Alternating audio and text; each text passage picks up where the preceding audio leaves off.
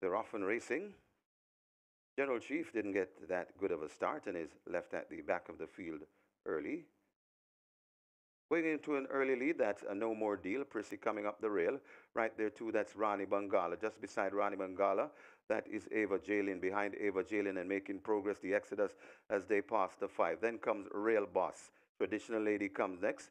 Zion's Princess and General, the slow starting General Chief racing at the back of the field. They've passed the four, and it is just the leader. No more deals on that lead. Prissy is right there for company. Rani Bangala watches them closely in a third. Out wide, the rail boss is making eye-catching progress right against the rail. That's the Exodus. Stacked onto the tail of those. That's Ava Jalen. Then comes Traditional Lady, Zion's Princess, and the slow starting General Chief. They're coming at the top of the lane. It's a war up front. Prissy coming back for more.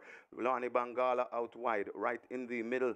That is no more deal. It's Prissy in front of no more deal and Rani Bangala. This is where the race lies. Also coming on. That's Rail Boss if he can find space. But it is now Rani Bangala that hits the front and begins to come, come away from them. It's Rani Bangala trying to fight back. It's no more deal, but Rani Bangala put pay to this field. Rani Bangala by four. No more deal, hold on to be second. Then comes Rail Boss, traditional lady, and Prissy.